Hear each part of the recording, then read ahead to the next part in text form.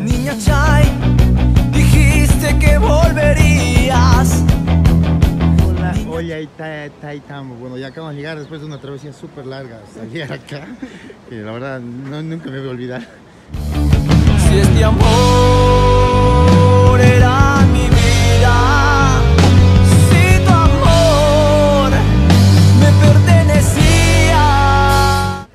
el mapa de Machu, Pi- Machu Picchu. Hay en total tres rutas. Nosotros vamos a tomar la más larga, a ver si podemos aguantar. Acabamos de llegar a una parte. Vamos a ver qué más nos espera acá en Machu Picchu. Qué bella vista. Pero no apreciamos bien. Por ejemplo, esta parte del muro puede haber un colapsamiento, pero algunos extranjeros no lo cuidan mucho. Vamos a seguir acá en Machu Picchu, mostrando lo que es. Paul. Paul, yo se los recomiendo si vienen aquí por Machu Picchu. Voy a dejar en la, en la descripción de, en la descripción su número para que lo puedan contactar. ¿Qué es exactamente Machu Picchu? Bueno, para saber exactamente lo que es con respecto a Machu Picchu, hay que entender a los incas como una compañía de hoy en día, con gerentes y administradores para que ellos puedan administrar ciertos sectores de la compañía. ¿no? Entonces la gerencia estaba ubicada netamente en lo, que, en lo que viene a ser Cusco. Y la parte administrativa ya vendrían a ser como estos espacios o estas yactas grandes o estos pueblos que vienen a ser en este caso un centro administrativo Palantisuyu o la parte de la selva Machu Picchu. ¿no? Entonces hay que hablar de un centro administrativo donde se tenía que realizar algunas eh, o tener algunos sectores religiosos, algunos sectores de uso común y algunos sectores de privilegio, en este caso para, los- para la nobleza inca, y otros sectores urbanos, ¿no? donde que podía residir y vivir la gente común de Machu Picchu. ¿no?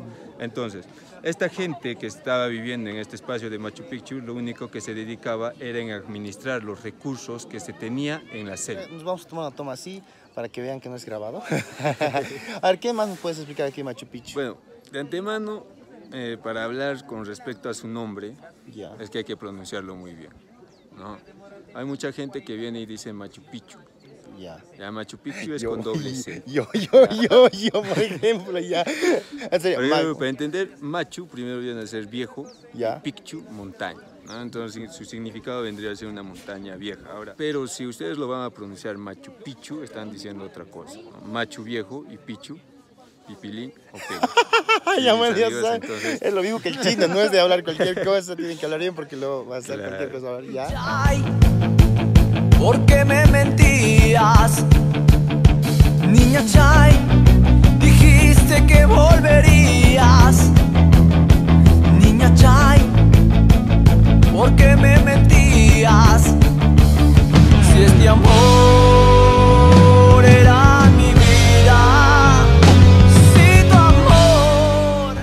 piedras que están sobresaliendo del muro vienen a ser las antiguas escali- escaleras, vamos a decir. Vamos a tener ahorita. Como modelo aquí tenemos. Mejor, ya se despejó algo. Gracias, la verdad, Julio, por haberme invitado a venir acá. Eh, como había dicho en otros videos, a veces tenemos tantas cosas bellas. No estoy hablando solamente de un país, sino de todos los países y no lo valoramos. ¿Habías venido antes acá? No, no, no. Exactamente, yo nunca había venido al Salar de Uyuni. Tuvo que venir Gustavo para, Claro, ¿ves? Y te das cuenta cuando vienes aquí que gente de otros países valora más las cosas que nosotros tenemos al alcance y nos hace pensar que tal vez tenemos que empezar a cambiar nuestra mentalidad y no pensar de querer ir a otro país cuando tenemos tantas bellas cosas acá en Sudamérica. Así que bueno, ya saben, primero empecemos a valorar lo nuestro, a nuestra familia, antes de ver afuera. Primero veamos lo que tenemos cerca. Gracias por haber visto. Y una despedida en chino, en chino. Ah, sí, sí, sí, sí, pero yo me... Si este amor